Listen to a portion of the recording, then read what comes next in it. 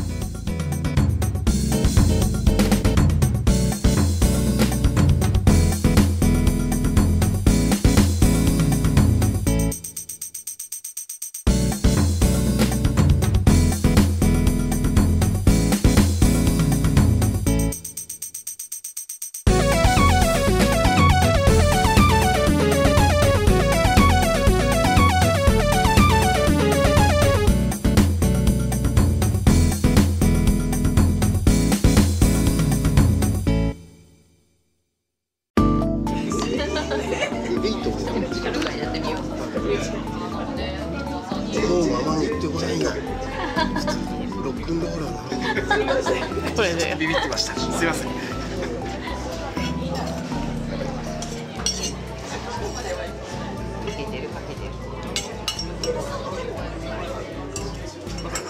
はいというわけでですねなつきちゃんのレコーディングが終わりまして今これからお食事です。ねこれ食べたらね大船渡の方に向かいますんで。はい。